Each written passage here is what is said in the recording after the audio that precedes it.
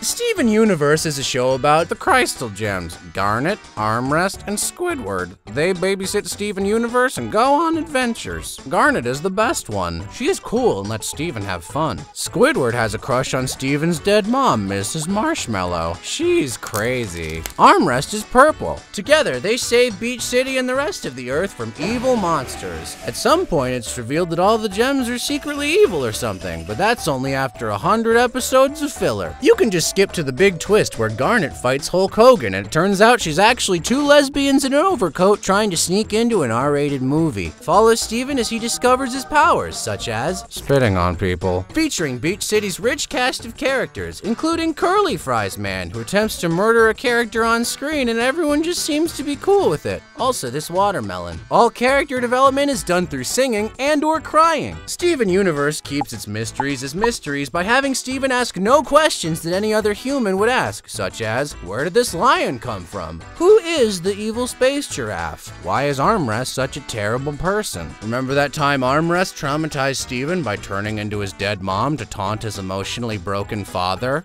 And then made up for it by cleaning their garage?